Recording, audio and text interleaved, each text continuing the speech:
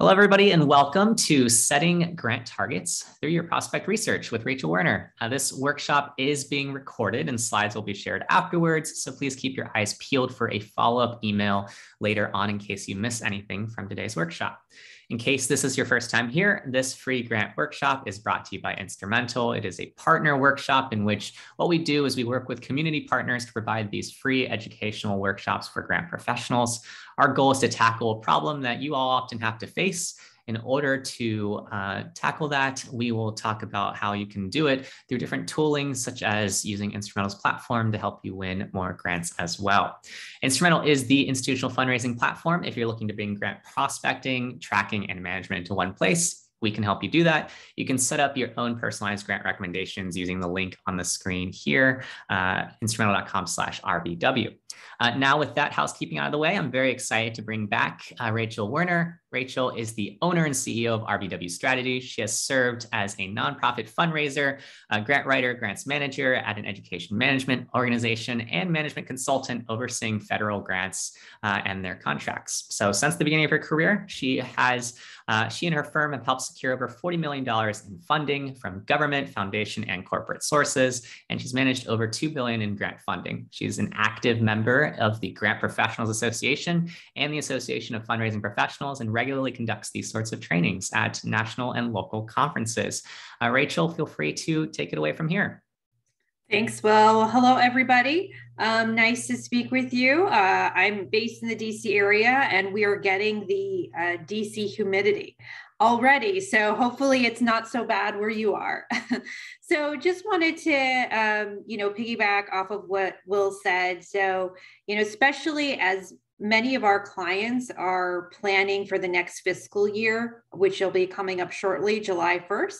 This is a very opportune time to really reinvigorate your prospect research and start to also add targets because um, what we've seen over time is just that lack of clarity of okay so we've done this great research. How do we then map it to these financial targets? And how do we make sure that we're going to be bringing in enough revenue to support our organization through grant funding? And so that's what really we're going to discuss today. We're going to have a demonstration. Will's going to kind of show you through um, Instrumentl a bit and we'll learn a little bit more about you know what your needs are. So um, i'm going to start to get into the presentation. And first, I would love it if you could add in the chat. Some of you have already done that, your name, your organization. And one of the things that I'm curious about is how you determine a high, medium, or low priority grant prospect. So if you could just start putting that in there and we'll, you know, you can call out what people share. Um, if there's, you know, some things that we can add to the conversation, I'd love to kind of understand that because it helps me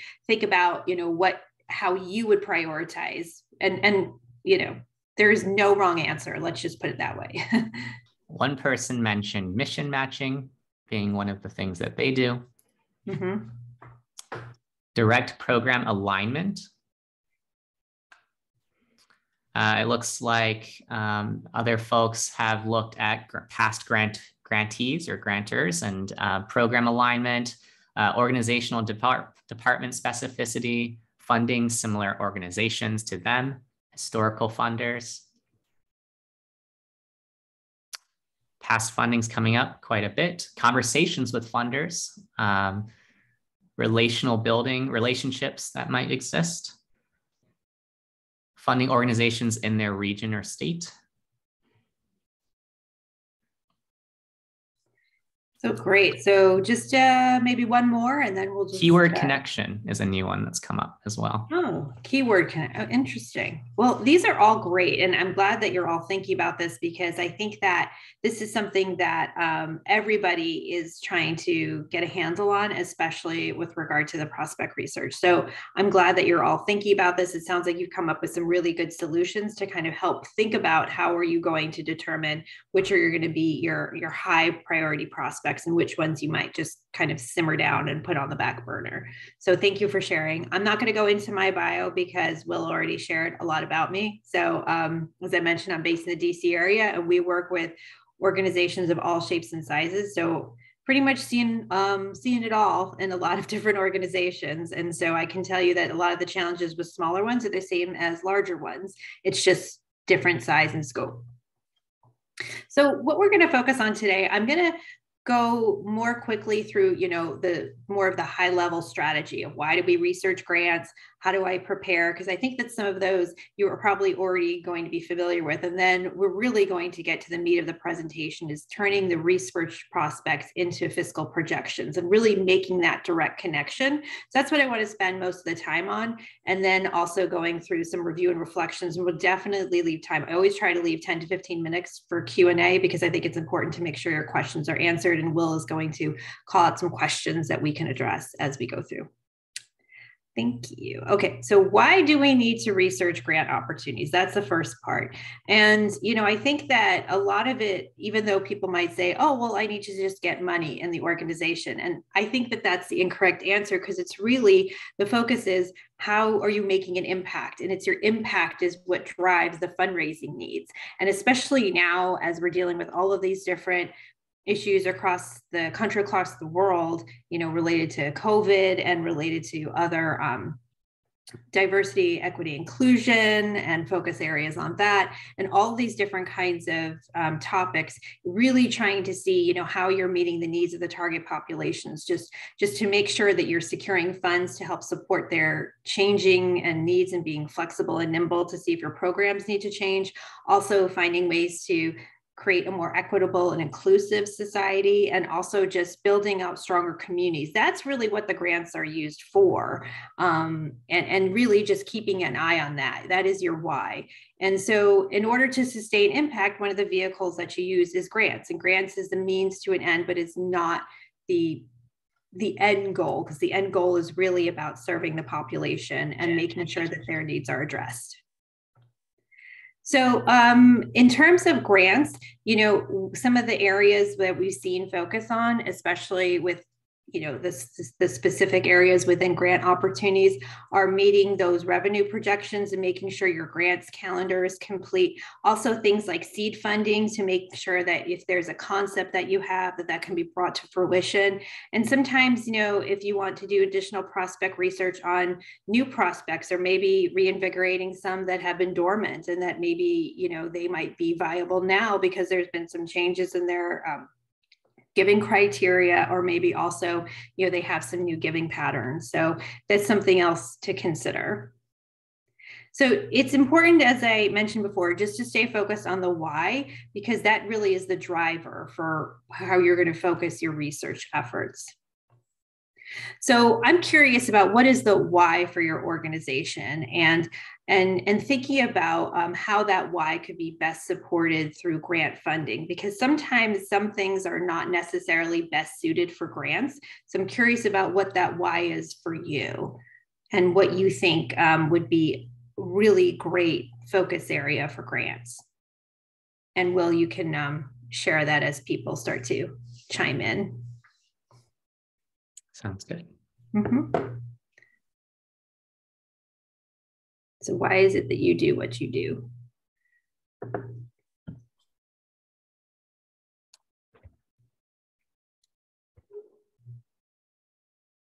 So, Jane says ours is all about public safety. Mm-hmm. Uh, Julia is talking about land use and conservation. Mm-hmm. Amanda's referencing how they provide life saving PTSD services to veterans. Uh, and uh, ooh, there's a massive string of folks coming in here. Uh, um, there should be a pause feature in this. Um, Sock mentioned general operating support to sustain programs to serve the community. Mirror, Mirror Image Arts talked about the importance of disrupting the school to prison pipeline. Uh, Samantha talked about there being a lack of all girl youth development programming, getting people out of poverty from Cynthia, behavioral health from Chris. Uh, Janaya talked about human rights, Kaylin talked about preventing and responding to child abuse. Uh, Lacey talked about helping men, women, and children break free from homelessness. And then some natural and land conservation from Maria. Uh, and Andrew talked about combating racism, and Virginia talking about helping middle schoolers become the next generation of environmental stewards, um, and a variety of others. So Wow, some amazing causes here. I mean, I always love doing these trainings because I, I, always learn more about the efforts that are happening across the country and what we're doing for our communities. So that makes me excited, especially some of the news can be so dire. So I love trying to see what people are doing to try to elevate. So thank you for sharing. These are all some great areas of focus and just wonderful work. So now we're going to talk about sort of the internal work of how do I prepare for the research. So we're just going to be focused on um, three key steps. One is strategic alignment. So I always think, especially now, as if some of you have a fiscal year that begins um, July 1st, or maybe some of you don't have one that begins until September 1st or you know january 1st whatever it is it's important to really think about what are the strategic priorities and how do those then translate into concepts that could be funded you know through grants and through other fundraising vehicles and thinking about the needs assessment not just for your target population and your clients that you serve but also internally what do you need to do to be able to invest in the organization to make sure that you can be elevated to support those um, important causes and thinking about that and thinking about not just what leadership but also the frontline you know direct service staff who are actually doing the work because there might be different sorts of assessments of that. And then also just thinking about the concepts or programs that you're going to be focusing on. And then i think that it's really important because sometimes we'll get a laundry list of requests like oh we want to fund you know these 10 different priorities and that's just not feasible. It's really important to prioritize as much as possible because it's it depending if you have a huge department then maybe you can have you know those 10 different program or concepts but if you have a smaller department it's really important to prioritize maybe to three to five areas that you can convert into fundraising priorities and thinking about the specific areas where you can focus on um, related to grants in addition to the other um, fundraising campaigns. And then, you know, thinking about your fundraising plan, you might not have a fundraising plan. Perhaps you base it off of the budget that you had previously, but thinking about how much of the funding has been received through grants versus other fundraising areas. And that can help you set those financial targets. And then if you break that down even further, how much of those grants have been allocated to program one versus program two versus general operating support, because that can really help you set the targets. And if you're looking to expand or perhaps you have some pledges, or perhaps there might be an increase um, in in work devoted to grants, you can perhaps increase the projection. But that's just something to consider as you're starting to put together those targets and really doing a deep dive because the data will tell the story of where you can focus your efforts and also just where you might want to, you know, think about expanding or contracting, you know, depending on, you know, year over year analysis. So um, that could be very helpful. And I know that, you know, Instrumentl is a great way to track that. So if you were thinking about that, you know, I'm sure that um, that could be something that will might be able to showcase. But you know just just being able to have a fundraising plan even if your fundraising plan is a is a table with just each revenue stream for the organization and the projected goal that's that's a good starting point because you just want to be able to work towards something and have a benchmark that you can assess on an ongoing basis. And then of course assigning responsibilities. So who's going to do the work and how are you going to break it down? Because I'm very task driven. So I like to break everything down into discrete tasks. Like even prospect research can be broken down into discrete tasks. And so I think it's important to identify who might be doing what part of the process and just how you're going to manage that. Now you can do it through things like there's because everybody's working in a hybrid work situation are you going to do it through google drive teams? Do you have some kind of shared shared system or network or an online portal? So just having that kind of working plan you know to kind of manage the work and making sure you're on target. And and will um, maybe this is a good you know um, hand it over to you to kind of talk through. This is an example of that kind of working plan and Instrumentl. Yeah, absolutely. So, with every project and Instrumentl, if you've never checked us out, we us will essentially allow you to have a saved project. Um, and within the project, you get a saved grant search as well as a tracker. So what you can see on the screen here is that this is a tracker for an air quality project where what we're doing is we're able to track our grants, set different ownership based off of who might be responsible for different grants, as well as um, organize things based off the deadlines and tasks that are coming up related to those grants. So in the case where you are looking to bring in the same place everything into the same place in terms of where you're researching and then where you're actually tracking towards the milestones of submission and and everything past that point uh, you can bring that work into your tracker. Um, and i think that's what some of the things that are then covered um, you know later on that we'll see as we start to start to bring it bring into like a decision matrix and things like that is the importance of having an easy way for you to reference uh, whatever the information about the funder is that some folks mentioned they look at right now with you know their tracking capabilities of of their grants as they move it down the pipeline. Exactly. Thanks will so now why are these steps important? Because research only works when you have identified why it's important to the organization. So the more information you have, the better the process will be in the long run. The more strategic you are in thinking about research instead of just going after, well, you know, these 10 funders board member gave it to us. Well, that's not very strategic. It's just thinking more about from the bottom up and thinking more about instead of a top down approach and thinking about the needs and thinking about the priorities, because then those kind of keyword, those kinds of additional um, information that you can use when you, you when you actually conduct the research will be extremely beneficial for you. And also understanding the financial targets because some clients are happy, you know, we got this $10,000 grant. We're so thrilled. And that is a huge boon to the organization. Others won't look at anything below $25,000. So I think it really depends on the size of the organization and what you're looking for, what your targets are for each of those different areas. And the more you can refine that, the better the research outcomes. And that's why I say that prospect research and grant strategy are best friends because the better strategy you have, the better your prospect research. You know, if you put good quality data, good thoughts, good strategy into it, you're going to have better results. And so you're going to have a much more thoughtful process that you can then keep doing. It's a cycle so that you can keep reusing, you can keep refining your priorities, you can keep updating the project. And so that's something that can really benefit you um, in the long run. So I'm going to hand it off to Will to kind of talk through um, Instrumentl and do a little demonstration. Awesome. Yeah, and I'll I'll also uh, I'll cruise through this slide so that we can really dig into the actual side of the the two examples that we're going to cover later today.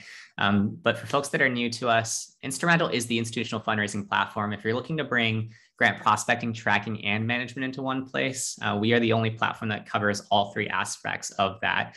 Um, and so uh, what you'll find is a list of active uh, opportunities that you can actually apply for, as well as potentially invite only funders or uh, funders that uh, might not even have websites that may be good fits for you. So we, our unique matching algorithm will match you to good fit opportunities for your projects and our deadlines will automatically update as well for you. So um, in the case where you haven't already created your account, you can do so with Rachel's link in the Zoom chat a little bit ago. Um, but the key outcome that we drive is that integration of your prospect research with your grant strategy, in which uh, we are saving each person that's using us three hours a week on average, and we're increasing their grant application output by 78% within a year of using us, largely by just reducing the number of, of administrative tasks that folks have to do. So instead of you having to manually update a ton of different information pieces uh, around the different grants that you're pursuing, we track a lot of the, those sorts of data points for you. Um, so in terms of like the, the demonstration, I think will be useful is actually, Rachel, if you want to go over some of the research criteria and things like that, we can then uh, do the demonstration a little bit. I think that might be uh, a good way to kind of showcase everything. Um, but like I mentioned, uh, feel free to use the link in the Zoom chat in the case where you haven't set up your free account before. Sure. Okay. Sounds good. So, um, so as Will said, you know, I think it'll be good to kind of talk through the research criteria. So I'm going to get to that right now. So part three is when we're really going to put the meat into this and like understanding the research criteria and putting financial projections.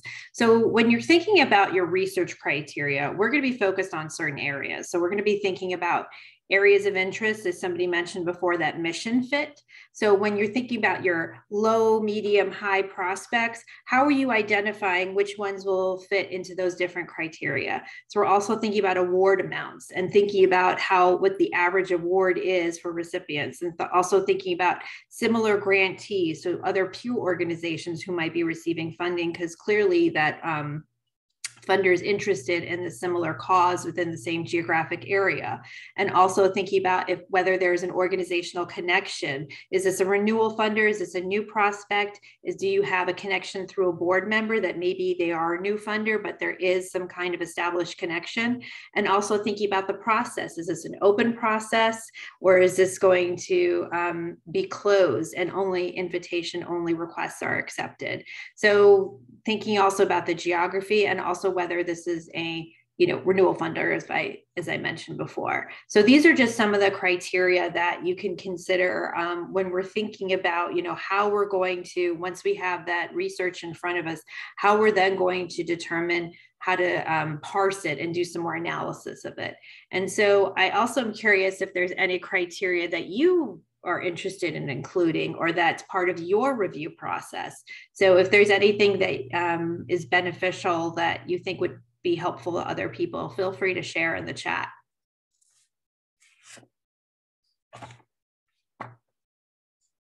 And you can just call it out, Will. Absolutely. So one person mentioned giving amount. Mm-hmm. Giving amount. Mm-hmm. Timing of the award, Virginia mentioned. Mm-hmm. Kelly also mentioned making sure your organization's eligible if you're, you know, not a 501c3, for example. Uh, Shelly mentioned looking for collaborating organizations um, that are being funded, so partnership opportunities. Cynthia, reporting requirements. Catherine, segment by programs. Krista's referencing competitiveness. SOC talking referenced talking to other uh, other or similar mission aligned organizations, organizational capacity, so internal capacity. Uh, Yvonne has mentioned the type of funding, so capital versus uh, general operating expenses and things like that. Trisha mentioned if you have to wait a year to apply again after being funded, so a delay time period.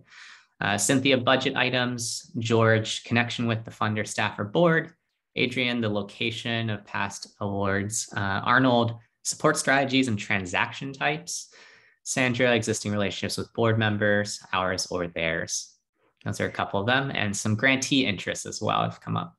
Wow. So yeah, you've really put some thought into this. That's that's fantastic. And and as you see that this is a fairly fluid process. So while there are some core criteria that you want to consider, there probably might be others that arise that are specific to your organization, your region, or perhaps even a particular program that you might want to include. And so absolutely consider those because they can change and they might be given more weight um, given, you know, this particular focus for your organization. So once you have sort of those criteria in mind, think about assigning a score to them. Now, assigning a score is basically allowing you to put a numerical value against those particular criteria. So, for instance, um, let's talk about geographic area. If you are an organization that's based in the New York region and the funder does not support organizations on the East Coast, you would assign a score of zero because clearly there's not a geographic fit. And if you see there's no past funders, probably not. However, you could give it a five if perhaps that funder has supported organizations in the New York area, perhaps not your particular county, but maybe within the region. And so that could be given some weight. And it would be a 10 it would be a good match if they have focused on funding within your county, within your particular um, region. So it's really thinking about are you going to sign a zero, which is no fit? Five is a partial fit or 10 is a solid fit. And there's some, and we're going to get to this to the next slide, the sort of weighted criteria, because some criteria might be given a little bit more of a value than others. And sometimes I see that as more of a yes no. For instance, if you have a renewal funder, so that could be a score of 20 because the fact that it's going to be elevated and there's going to be a greater chance for success. So there's some things that you might want to elevate more than others and so differentiating between weighted and unweighting criteria and that will allow you to kind of um, look at that a little bit more. And so when we talk about the weight considerations, here are some of the things that you might want to consider. So renewal funder relationship, unsolicited application process, so again, that's a zero or 20. Um, geographic focus can kind of go in either direction as a yes or no, but if there is some, because sometimes there could be some wiggle room depending on the size of your geographic area. So you can kind of look at that in two different ways. And also if there's an organizational connection. So if you have a board member connection, that could instantly get a, a weighted score of 20. So then if we want to sort of score these criteria, we're going to say, and, and, and I'll show you the sample spreadsheet that, you know, when we go through the demonstration, but if let, let's say a total score of 120, four weighted, four unweighted criteria, you'll see the low priority prospect would receive um, a score of 40 or below and that a medium would be between 41 and 80 and a high score would be um, 81 above. And so that's just kind of a quick and dirty weighted unweighted criteria together you know just to sort of see you know what would the total score be. And so those those are just uh, some examples of how you can think about mapping these criteria to specific scores and we're going to go through what that looks like so I'm going to give you um, a sample organization, and then Will's going to look up a couple of sample funders um, and Instrumentl and provide a little bit of an overview about them. So our sample organization is a nonprofit village. They're located in Montgomery County, Maryland. Um, and the nonprofit villages basically serves as a nonprofit incubator. So they really want to increase the capacity and sustainability of nonprofits, mostly through support um, advocacy efforts, education, collaboration, operational support, and really just providing sort of the administrative um, support that's needed to help elevate these nonprofits to become self-sustaining. And so we're going to be looking at a specific scenario. So let's say the nonprofit Village is seeking $100,000 to expand its capacity building efforts to support these smaller and emerging nonprofits in Washington, D.C. And what we've done is we've identified two specific DC area funders that could potentially fund the nonprofit village. And how would we kind of score these criteria?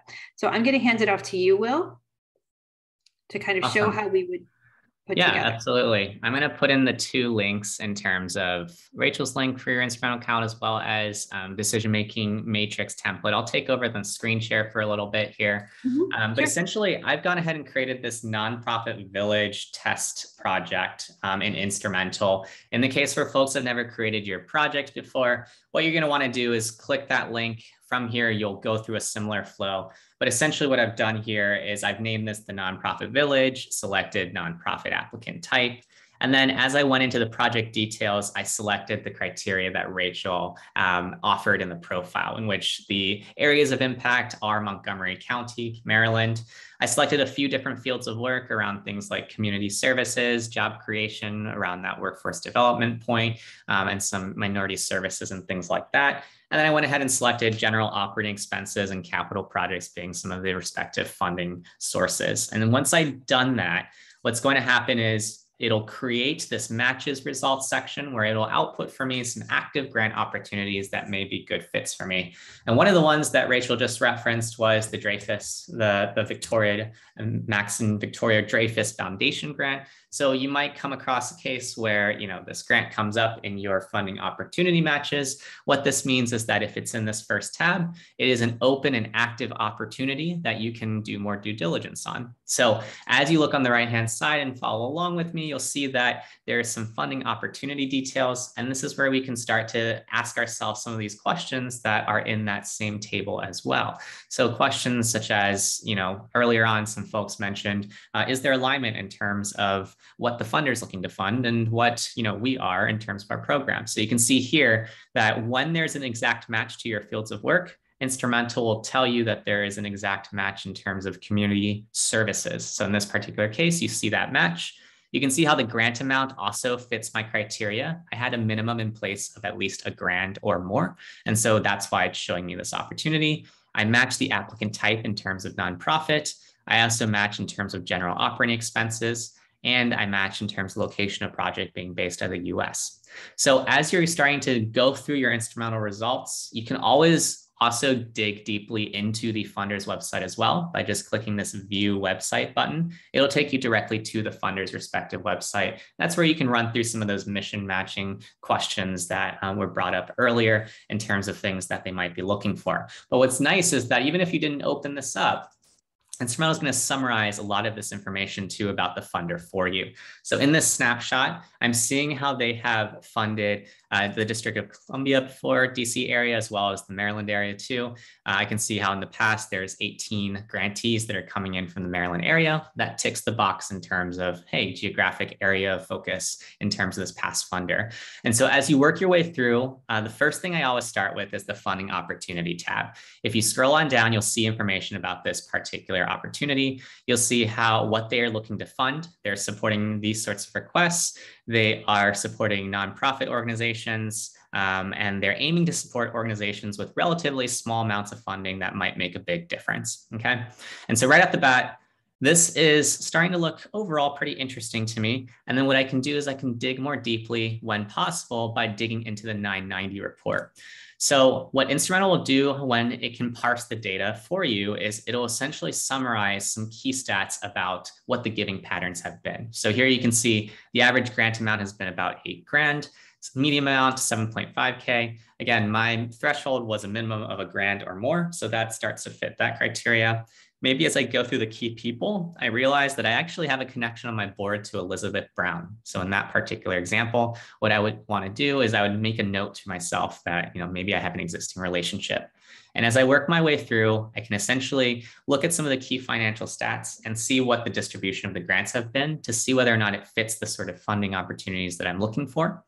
And then, like I said before, you can filter by the states. And so if I wanted to go ahead and isolate for Maryland, I can look at um, I can look at the different opportunities or the past grantees that have received funding from uh, the Max and Victoria Dreyfus Foundation. So these are the sorts of questions I'm asking myself as I go through this is, you know, are there similar organizations to ours? Um, is it completely different? Is there some sort of alignment? Um, what does the data actually tell me?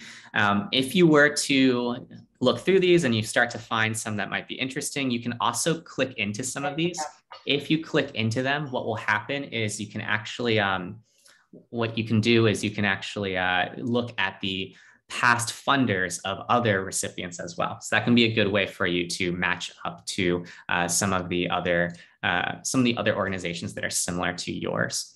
Um, so as you keep scrolling through, you'll see some information about grantees, also giving by NTEE code. In this case, you can see how there's a lot of focus around arts, culture, and humanities. That makes sense because going back to that original funder details, they were looking to prioritize those areas, but also they are funding a lot of human services related work too. And if you ever have questions about what are the respective areas that you know they are really funding towards. You can scroll all the way down as well. And in this NTEE code section, you can also expand out the different types of organizations that they have funded too. So in this case, you can see some human service organizations, homeless shelters, um, a bunch of different work here. And assuming that you have run this through your criteria, what you can do is if it is a good fit, you can go ahead and save that opportunity into your tracker. So let's say, for example, we plan to do uh, this grant a little bit later. Maybe we'll request five grand. We can save that and that will take it into your tracker of your project. So you take this sort of approach as you're running through uh, the different criteria that you may have come up with in the last section that Rachel just mentioned. And you might also come up with a few other um, opportunities as well. So another one that I think we wanted to talk about was uh, the TD Charitable Foundation. So here you can see there's a couple different active opportunities that uh, we already have an Instrumentl for you to review. So you could open up each of these opportunities and potentially find a couple couple ones that could be interesting to you. I'm going to look at the one that is maybe the charitable foundation grants because it's probably the most relevant um, to the ones that we're looking at here. But essentially what you'll see is you'll see the information about the funding opportunity here, uh, the fields of work match, potential applicant types and things like that. And then you'll be able to see information about um, the respective types of grants that they're looking to fund, as well as information about the funder. So whenever you dig into that funder report, that's where you start to run through those same, same sorts of criteria that you would ask yourself as you're running through um, the different reports that you'll find Instrumentl. So I've included a decision matrix template uh, that we've done a more in-depth training on as well. I believe there's actually a recording of it that we can share to attendees afterwards. Um, but essentially what you can do is in this decision matrix, you can take some of the logic that um, Rachel was outlining in terms of giving some weights and play around with this, in which if you click that link, uh, you'll make your own personal copy of this template. And all you need to do is just change the variables in this row four to whatever is applicable to you. And you can also change the questions that you're asking yourself to. So for example, if I wanted to make sure that this grants project requirements and mission aligned to my own goals and put that as a really high heavyweight criteria, I can go ahead and put a point two here. And I just need to make sure that everything will equal to, um, to one when I sum across these columns. So I might take this one down um, instead to 0.02 or something. And now I have the sum of one, but what you'll see is that as I kind of go through these things, I'm giving myself some sort of a score. And as I change these numbers, the, um, the spreadsheet will also change with me and assign a general grade for um, those respective criteria. So that template, um, I'll repost it in case you missed it in just a little bit ago. Um, but what you can do is you can make a copy of this template. You can play around with the variables. And as you work your way through, so for example, if I just want to take an example here, um, I'm going to start from scratch here. Maybe I'm going to start with the, actually, I'm going to start here, Max and Victoria Dreyfus Foundation. What we can do is we can say, okay, does this grant project requirements and mission align to my own goals? I think that's a pretty good alignment. So I'll probably give it an eight right now does my organization meet this opportunity's eligibility requirements? We saw that was a 10. It showed up in our active matches. So that's something where it's definitely something valuable to us. How open is this funder to new grantees? That might be something where we'd have to dig a little bit deeper. I'll put a seven for now. And then you run through these sorts of criteria where is my organization's geographic location represented historically? We saw some representation in, in Maryland, so I'm gonna put that at a nine. Uh, how closely does it align to my own organizations? We saw a lot of focus on human services and things like that. And so that does seem to pretty align pretty well. Going to give it an eight. Have new grantees historically received as much as uh, previous grantees? Uh, that's a little hazier for me. So I'd probably give it a five for now. Um, in terms of you know the median giving amount being worth going after, absolutely it matched. And then uh, in terms of you know historical giving trends, uh, showing both positive trends. We saw that. And do we have bandwidth? This was one of the internal considerations that people were asking earlier to think about. I think that my team can do this. And then in terms of, you know, does my team um, does my team have the bandwidth to tackle the reporting requirements? Let's say we do. Now you can see that in this particular example, this final grade for this is weighted to a B. In that situation, probably something in which I would want to pursue that opportunity and that's why in this particular example, I've gone ahead and saved that into my tracker here within Instrumentl. So now I have all those tasks where I can start to organize things in there. So feel free to make use of this. Feel free to change it to your own liking, liking too. Uh, what's going to happen is it will just um, it will just update based off of whatever you're changing in these fields, but you can choose your own questions too. So this is just a flexible template that you can use um, in the case where you, you don't want to make it yourself. Um, but yeah, and then you'll just change that um, and, and kind of plug in from there. And I'll pass it back to you, Rachel, in terms of uh, some of the things here. And I know we had a couple questions on Instrumentl. We'll save that to the end as we dig into the rest of the presentation. Sure. Okay, great. Thanks. All right, so I'm going to jump back in to the presentation. So, um, so I just want to um, I just need to get out of that view because, sorry. Uh, okay. So um, I just want to make clear that, the, that this decision matrix is one that Instrumentl had prepared and that I have sort of the sample 0, 5, 10, 20 is one that I have put together for myself. Now, I think that, you know, the Instrumentl version is very easy to use. I was just trying to kind of give you a sense of how you could weight it but um, you know they're two different versions of basically the same concept. So in terms of how i would do it within this particular example that i was describing above so we were talking about the areas of interest there was definitely a strong alignment so there that would be a 10 the award amounts definitely in line with what we were expecting that's a 10 similar grantees that was pretty high so i'd say that would be um, a 10 Now, the organizational connection perhaps will assume that this is a renewal funder for um, the nonprofit village. So we'll give that a 20.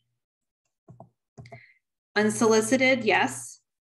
So that would give a weight because it's weighted, it's going to be 20 geographic focus, absolutely a 20. So this is going to be getting a very high score because of the past connection, because of the fit. And if it's a renewal funder, that's a 20. So this could receive a very high score. So if we put these together, we'll see that, um, excuse me, I'm just gonna move that over. That would be a score of 110. So that's the total score here. I think one of the criteria got cut off. And so you can kind of look at that. Now we could also say, let's say that this didn't have any previous um, connection. So that would go down to zero. And perhaps, you know, this is not a renewal funder. So that could go down to zero. And so if we do that, we would take that would change the score completely. So that would be um, 70 instead of 110. So you can see how those weighted criteria really impact your decision of whether or not to pursue funding.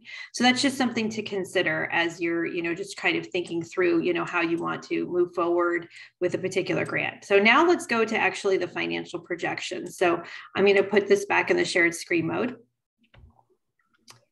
And so now we're going to talk about the two different models that you might want to use to think about the tracking these to actual financial targets. So the reason why you might want to consider two financial projections is to think about a more aggressive estimate, which might be something that is more aspirational versus more conservative projections. And with the aggressive, we're kind of looking at three different, you know, percentages. 75% is a high likelihood of success and that's like more of a high level prospect.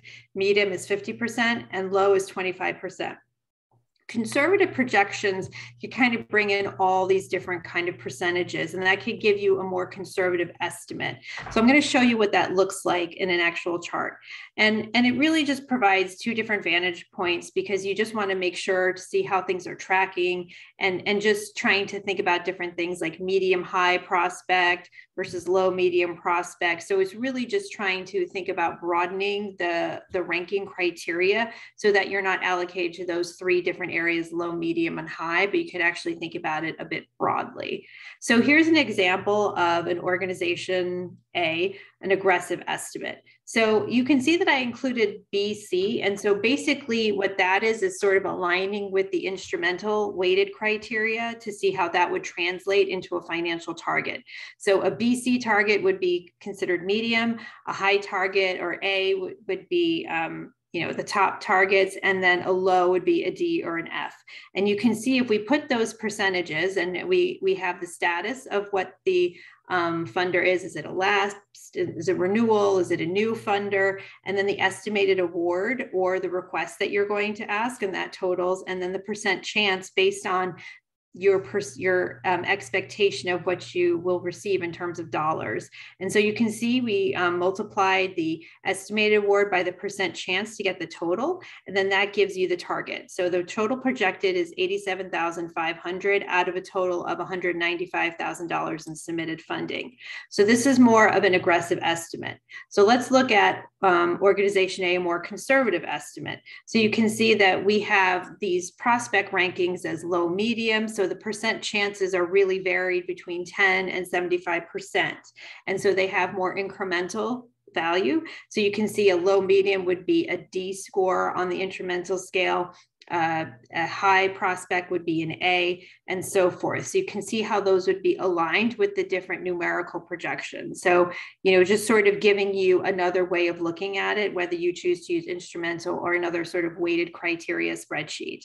And so that can kind of give you a sense. And so it's the same thing. The estimated award is totaled up 195,000, the percent chance. And then you can see the total estimate is less than the aggressive X estimate. And it would actually be even lower depending on whether you know you have a lot more prospects and you know just just trying to accumulate. So you can see that there's a difference in the two different estimates just in order to compensate for the different ranges in expectations of what you're likely to receive. And of course, this should be based on data, based on an analysis of the previous grants so that you can get a sense of how to set those targets. But this is just a quick and dirty approach just to try to get a sense of how to put numerical values against those prospects that you've identified, against the weighted criteria that you put together, just to make sure that there is an alignment between all of those those pieces.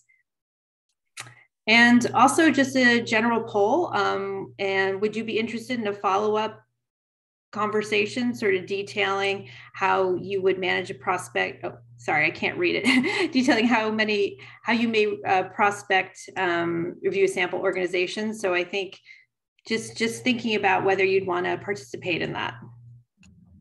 Yeah, this is just putting a feeler out there. And uh, since obviously we recognize that we're a little time constrained with these hour workshops to cover a broader scope of things. And so if you think it would be valuable to uh, have a deep dive in the future, um, we can definitely follow up about a potential workshop for that for the folks that are responding yes in this one.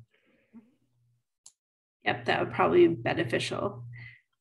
And so, how can you share this data? So, now you put together these projections, and now you're thinking about how to move forward with the analysis thinking about using this as a dashboard for leadership to kind of showcase you know what the benchmark is and the aggressive and the conservative estimates and, and also reports that you might need to share with your team on a monthly or quarterly basis and you know just how you're sharing that information and just making sure if you updated an Instrumentl whatever system of record that you're maintaining that so that you know exactly where you are at any given time with the number of grants that have been submitted number of awards declinations all of those kinds of things and just making sure that there's um, a back and forth with the grants calendar against those projections to see where you actually stand and if you need to make any um, deviations in your research. And so, Will, did you want to talk about the Instrumentl reporting? Yeah, the main thing I just wanted to mention is for folks that are already on Instrumentl, make sure you use the reporting function because I hear a lot from folks that just save time by going to their top right corner of their project and then clicking reporting. Uh, what's nice about Instrumentl's reporting features is that we can break it down based off of certain time periods. So if you want it to just be a certain number of days, months, years, etc., you can do that. You can do it based off project as well or combination of projects and you can generate these PDF or CD, CSV reports. And so it can get at some of the things that have been covered in terms of the prior slides of getting that report to, you know, whoever is the key stakeholder in, in this sort of process and save you the time of having to manually create these sorts of reports, um, which I know can take some time for some folks. All right, thanks. And so we're just going to wrap it up now and just go into review and reflections. So in terms of, you know, ongoing maintenance and making sure that you're keeping track of the different grant opportunities and so forth, just making sure that you have um, regular times where you might be reviewing this either with your team, with leadership, and just to see how your projections are actually um, being tracked and what the actuals are and just making sure that if there are any changes that need to be made that they're continually part of the review process. And also are you tracking more with the aggressive approach or more conservative estimate? And just seeing you know which one are you actually making headway on and which one actually makes the most sense you know in terms of um, how it's working for your organization if the estimates are closer to one versus another. And just thinking about do you need to revise the research and thinking about other targets that you might need to include if you're continuing to you know move forward with the grant opportunities and you might have more bandwidth to pursue different um, grant funders? And so just just remember in terms of these um, these considerations that I want you to think about, you know, that, that these are targets. So they're not going to be hard and fast. And so just making sure that you're continuing to review and evaluate across your portfolio and to see if there are changes that need to be made to the budget projection. So just, just continuing to use that as a benchmark for you.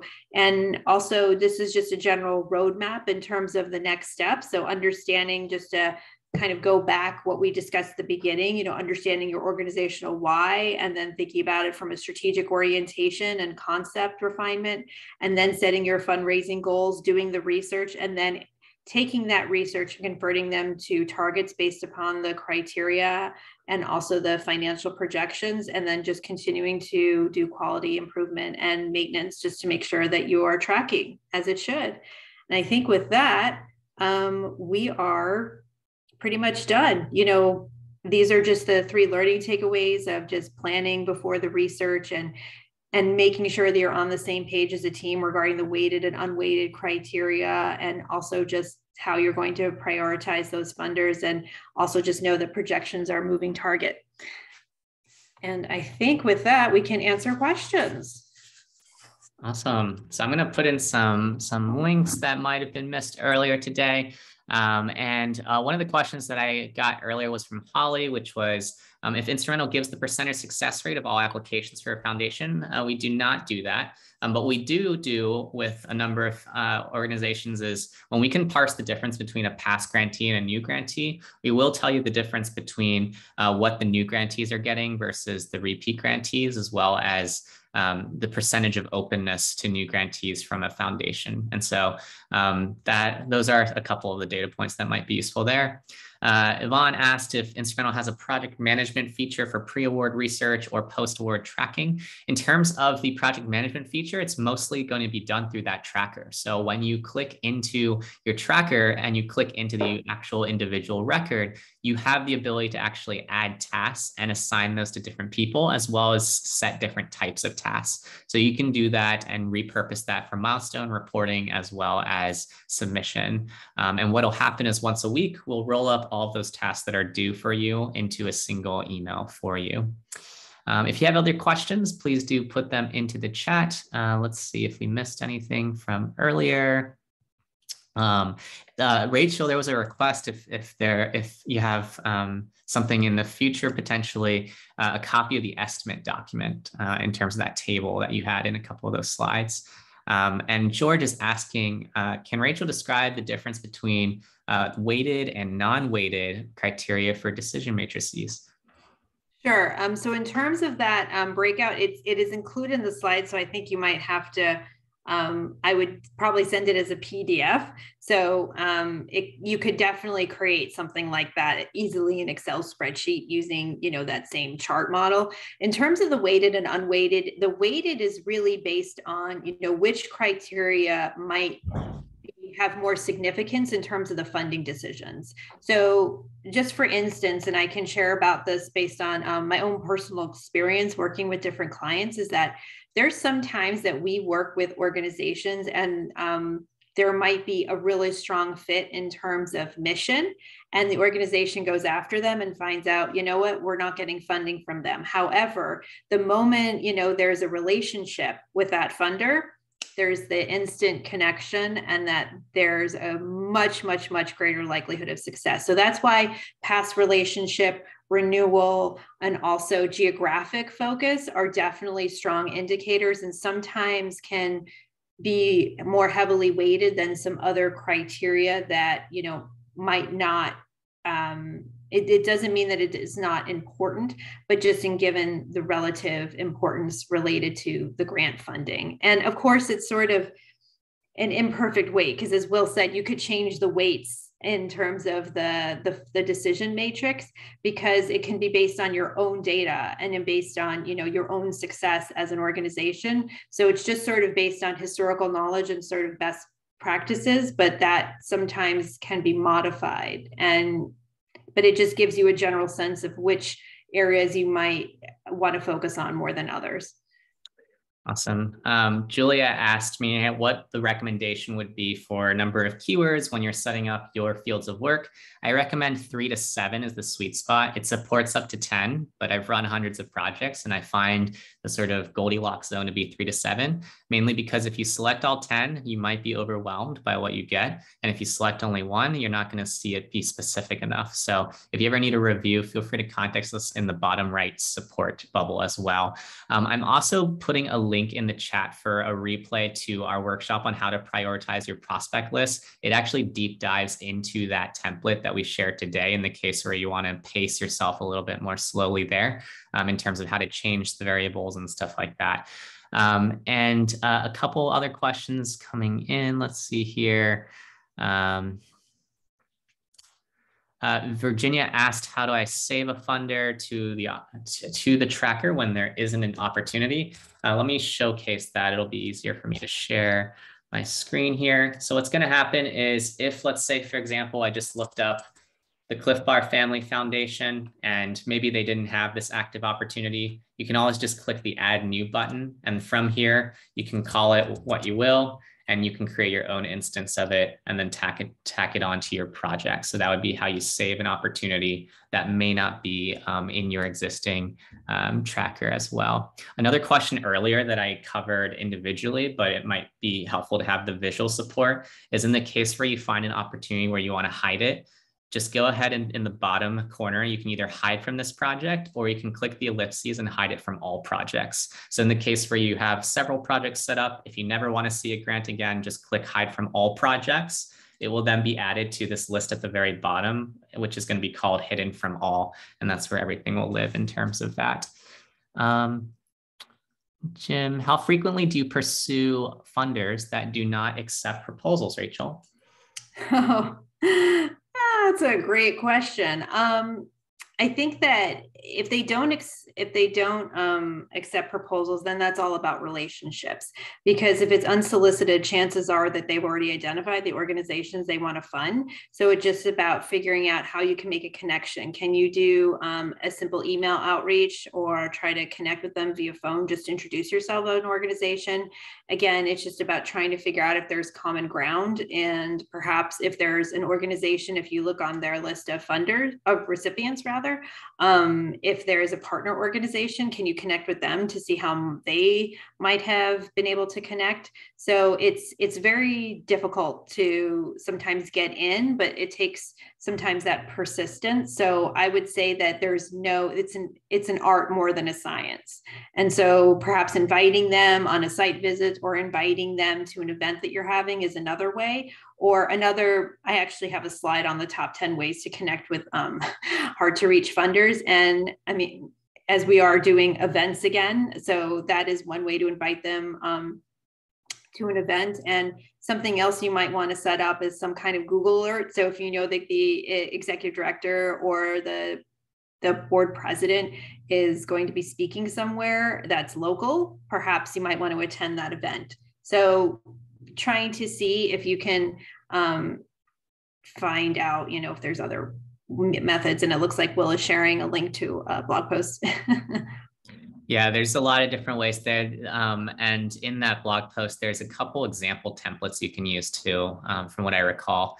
Um, the other thing is in the second section of your Instrumentl account, when you're in that funder matches section, you'll find breakdowns of funders who may not have websites or active opportunities and a percentage of how much they're giving to new grantees. So our general guideline is if it's 30% or more going to new grantees, it generally is a more receptive funder than others to new relationships. So look at that statistic because um, sometimes it's going to be really low. And in those situations, it's kind of probably not a good use of your time as well. So it kind of relates back to Rachel's point on it's the quality of the data that you're in, you're starting out with. And that if you can identify the sorts of trends earlier on, that'd be really useful.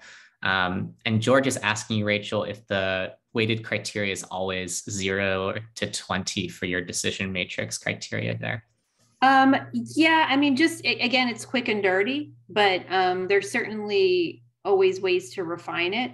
Um, you can make it 15. you know, it, it, it really is just it, the point is is to just elevate it so that's a little bit higher consideration perhaps than some of the other criteria. Awesome. Um, with that, I think we've covered all the questions for today. So hopefully uh, you guys got a lot of value to this workshop. We'll be posting it on YouTube later today. Uh, in the case where you did, we'll be back next week for how to achieve 100% of board giving with Jenny uh, Hargrove. And thanks so much for attending, everybody.